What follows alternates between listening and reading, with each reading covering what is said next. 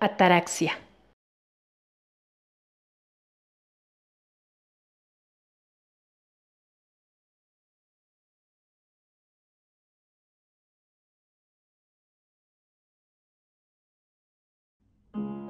Verle masticar como un sucio vagabundo muerto de hambre me repugna.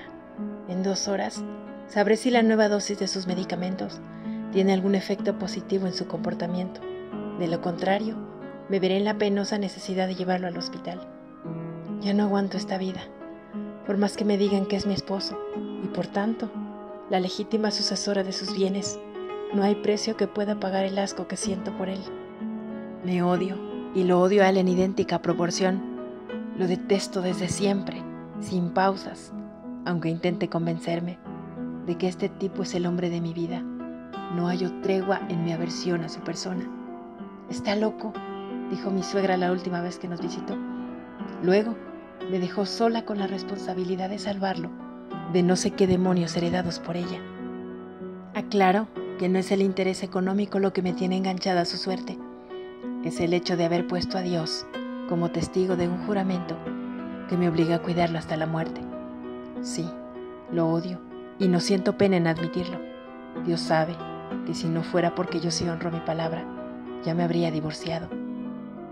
Ayer por la tarde, mientras rompía todo lo que a su paso se encontraba, me dieron ganas de abrirle la yugular con el cuchillo de picar cebolla. Estaba más pinche loco que de costumbre, desnudo e iracundo, vociferando improperios, convirtiendo nuestra elegante habitación en un muladar absurdo y peligroso.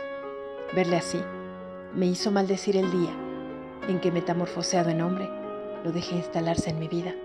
Y es que no sé quién de los dos está más enfermo si él con su adicción a las drogas, o yo con mi afición por lo perfecto, aunque por dentro esté podrido. Y es que Martín es perfecto, al menos en la superficie, y esa es la principal razón por la que no lo mato. Me revuelve el estómago su existencia, me fastidia todo de él, desde la mediocridad de su estatura hasta sus huesudas manos de mujer, aunado a su mal gusto por ocultar las huellas visibles de su origen. Ingenuamente, he creído en la posibilidad de una vida paralela a esta, una vida donde no compartimos el día ni la noche. Martín durmiendo complacido, con una compañera distinta a mí, bonitas secas, con la sonrisa puntual para la fotografía, sumisa, ante un hombrecillo pálido que le roba protagonismo. Y yo, en la lucha constante contra el destino, sin botox en la frente ni alrededor de los ojos, sin gestos de asco trazados en mi naricita operada, corriendo a toda hora, tras la marcha inevitable del tiempo, enamorada de un hombre hecho de pequeños y trágicos desatinos, hermoso de pies a cabeza, que me busca y encuentra en la grandeza y en la insignificancia de las cosas, juntos en lo adverso, asidos de la mano hasta en los peores momentos, felices y sin más semejanza que el barro del que fuimos hechos. Sí, a veces me entretengo pensando en lo maravillosa que soy en ese otro universo donde también existo, donde Martín y yo no somos ese algo inmundo que nos destroza el alma y nos obliga a querernos por pura vulgar costumbre. Me gustaría que esa otra vida fuese real, pero en esta, y no tener miedo a la renuncia opresiva de una suma de privilegios bien ganados. Y si bien mi rostro y mis manos tendrían un aspecto diferente, bien valdría la pena aceptar arrugas en las mejillas y callosidades en las manos, todo con tal de mantener a salvo el buen juicio y el sentido común. Fui una idiota al casarme con Martín. Debí decirle que no, pero me ganó el miedo a la deshonra.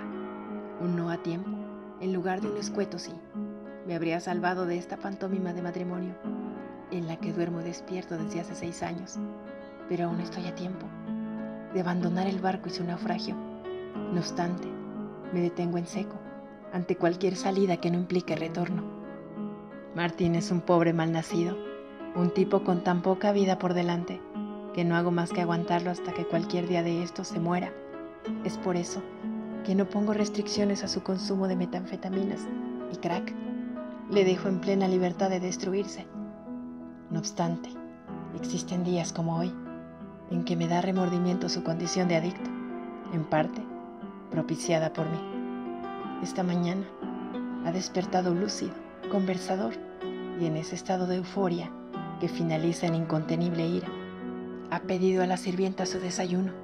Se ha atragantado con grotesca ansiedad todo lo que la muchacha preparó. Parlotea con la boca llena y usa las manos en lugar de los cubiertos. Delia sirve silenciosa el café. Con los ojos le ordeno retirarse, haciéndole notar que su presencia me molesta. Aunque la verdad, solo me encuentro un poco irritable y algo distraída del presente. Lo cierto es que Delia es la única persona en esta casa que goza de una ostentosa normalidad en sus deberes. Se ocupa de mantener un orden impecable, mientras nos distrae con su vocación de prostituta bien pagada. Desde que se mudó con nosotros, no le he exigido referencias de ningún tipo. Llegó a la ciudad, buscó trabajo y se lo di. La dejé apoderarse de la casa, de Martín y de mi vergüenza. Miento si digo que es insignificante. La verdad es que tiene un magnetismo apabullante que le abraza todo el cuerpo y la torna irresistible, menudita y resistente. Se adueña poco a poco hasta de las piedras que cimentan los muros de esta casa. Pienso que si su vida hubiese sido distinta al nacer, algo así, como un destino parecido al mío, segura estoy de que le tendría envidia. Me gusta Delia, pero no al modo de una mujer deseando carnalmente a otra, sino de una forma más espiritual mágica podría decirse. Pensarla es un alivio, porque inevitablemente su nombre invoca la calma. Verla limpiar la porquería regada de Martín, con el estoicismo de una santa, sin asco, sin resentimiento ni malas caras, mientras sus deditos rodean como garras la escoba, el recogedor, el paño lustrador y la cubeta de trapear, me hace sentir como si todo lo malo en nuestras vidas pudiera arrancarse de tajo y arreglarse de vez en cuando. Me mira directamente a los ojos, esperando una orden, un gracias, o vaya a saber Dios qué. Es como si quisiera decirme algo que no comprendo o que no alcanzo a vislumbrar. Delia es algo así como un placebo. Aparece y desaparece por toda la casa, llevando consigo los secretos de esta familia, escondidos en su uniforme de doméstica. Sosegada de toda vanidad, contonea su carne adolescente en el epicentro de nuestra desgracia. Martín vive en otro mundo desde su llegada, más desquiciado e inútil que en los días en que su enfermedad era controlable. La suerte quiso que Delia se convirtiera en la víctima de una circunstancia insoportable para mí. Asumirla como una propiedad ha tenido como natural consecuencia una resaca moral insospechada. Pagamos sus servicios a precio de oro, más por el miedo a que nos abandone que por el hecho de sabernos descubiertos. Por mi parte, trato de no pensarla más allá de los límites de esta casa. Si tiene novio, amigos o algún otro distractor, poco me importa. Sirve para lo que sirve y nada más. Si me preguntas si siento celos, diré que no. Delia está por encima de mi apego tóxico por Martín. Ella es el oasis en que descansa mi deseo de estar en otra parte. Delia, es la estabilidad de Martín. Todas esas noches en que los tres nos reunimos para dar rienda suelta a sucesos impronunciables al siguiente día. ¿Cómo podría sentir celos de una niña que bien podría ser nuestra hermana pequeña? No, yo no puedo sentir más que agradecimiento por esta desdichada que limpia las porquerías de Martín, como si recogiera flores. Si no fuera por Delia, este honorable hogar ya se habría derrumbado. Es más, puedo asegurar que la verdadera señora de esta casa es ella y no yo. Está además decir que nuestro trato diario es el correcto según las jerarquías. Delia es el reflejo mejor acabado de mí misma. Martín, el villano de la historia. Y yo, la artífice de ambos. Solo basta con pronunciar la palabra correcta para que ellos se manifiesten contrarios a su naturaleza. Es como si adivinaran las motivaciones de mi inconsciente y operaran conforme a ellas. Martín se hizo mal una semana después de conocerme. Delia se materializó el día en que invoqué su nombre. El destino la trajo como un regalo envuelto en cintas de seda roja, una muñequita morena, dispuesta a todo por dinero. Son estas divagaciones las que me arrebatan de la realidad en que vivo. Sentada frente a mi desquiciado esposo, que se atasca la boca con el queso, el tocino frito, el jugo de naranja y el yogur, migas de pan regadas en su barba, ombligo y rodillas, sonriendo como pendejo mientras me observa con deseo. Bajo la mesa, mi pie descalzo tocando su sexo, erecto bajo sus calzoncillos, el café amargo y frío, deslizándose lentamente de mis labios a mi lengua hasta llegar a mi garganta. Martín, hecho una miseria, jadeando mientras come, la fragancia de la sirvienta, impregnada en mis dedos y en los peludos muslos de él. ¿Me quieres, Martín? Digo sin sentir ninguna emoción, cierta de que su respuesta nos hará infelices a ambos. De sobra sabes que sí, y que si estoy loco es por ti. Ven, hace tanto que... Cállate, Martín. En serio, cállate. Delia. Delia, ¿dónde estás? Entra. El Señor necesita de tus servicios. Delia aparece como un fantasma, con la mirada perdida en no sé qué ensoñaciones. Se pierde bajo la mesa. Martín estira su pegajosa mano descolorida, buscando la mía, pretendiendo un vínculo entre los tres. Con la punta de los dedos toca mi taza de café. Necesita asirse a una parte de mí, aunque sea por un segundo. Pienso que el tenerme cerca debería ser más que suficiente para él. Tocar mi mano es un privilegio que perdió hace mucho tiempo. Soy su esposa, no su mujer. Para eso está Delia, para llenar el vacío que nos separa. Martín lo sabe y se deja hacer en la boca de la sirvienta. Resopla, se retuerce con la cabeza hundida en el plato. Delia le hace un buen trabajo. Lo sé, porque se le escucha atragantarse mientras se revuelve bajo la mesa. Por un momento, la carne tibia de sus nalgas ha rozado morbosamente mis rodillas.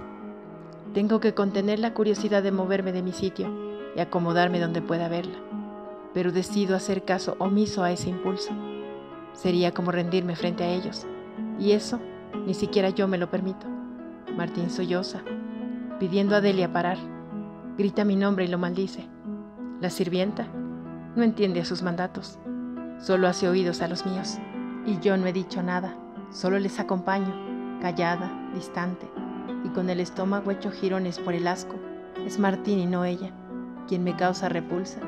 Ese escuálido y lechoso cuerpo de eterno adolescente, el que me paraliza a corresponder a sus provocaciones. Bien podría despojarme de mi orgullo, acercarme a mi marido y regalarle un poco de la mujer que soy, pero la náusea de mirarlo hecho un despojo me haría retroceder. Admito que me hace falta lo poco que tiene de hombre, sentirlo dentro, saber lo mío. Sin embargo, me he acostumbrado al modo en que se entrega los juegos con la sirvienta. Verlos coger es la mayor de mis satisfacciones.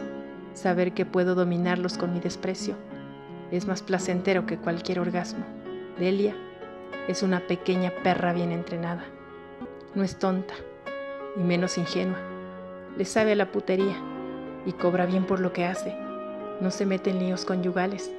Hace su trabajo y se evade.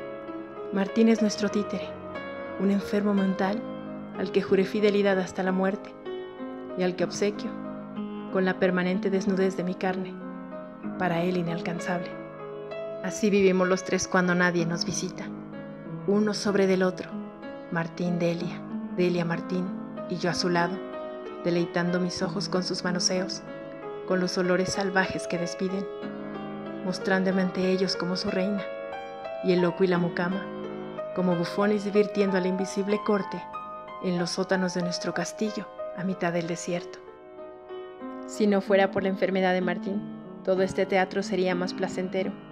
En lo que respecta a nuestra chica, no tengo de qué preocuparme. Su callada insistencia por regalarme un poco de lo que sabe hacer degeneran en ternero infinita hacia su persona. Se quedará en casa todo el tiempo que Martín siga queriendo tenerla a su servicio. En cuanto a mí, continuaré martirizando a mi esposo con las mil fantasías que se me ocurran. Hacerlo pasar por loco y que él lo crea ha sido una proeza nada difícil para mí. Es un hombre enamorado y con eso basta para manipularlo. Los medicamentos, en combinación con las drogas, me han devuelto a mi marido. Ya no persigue mujerzuelas en los antros, ni seduce con el encanto de su dinero a otra más joven y hermosa que yo. Ahora se conforma con los abismos que Delia le ofrece. Me mira asustado, enloquece de ira por la extraña virgen en la que me he convertido. Explota, ciego de odio hacia mí. Destroza la armonía de nuestro hogar con la impotencia de su sexo flácido, mientras intenta violarme. Me río en su cara, con los besones erectos, enrojecidos de deseo, y los labios mojados, inflamados, hambrientos de ese pedacito de hombre en el que lo he convertido. Ahora solo me toca contar los segundos que faltan para que Delia lo haga venir dentro de su garganta. Martín incontenible busca desesperado el roce de mi piel en sus sucios dedos embarrados de mermelada. Me aparto un poco de mi taza de café. Mis pechos tiemblan de la risa que ambos me provocan. Delia se deja caer exhausta. Puedo ver su rostro infantil, hecho una piltrafa, suplicando un gracias, que jamás diré. Es menester mantenerla atrapada en este episodio sin final. Un gracias de mi parte.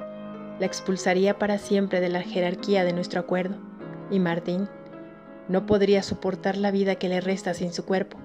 Y yo no podría seguir viviendo sin la presencia redentora de tan adorable mujercita.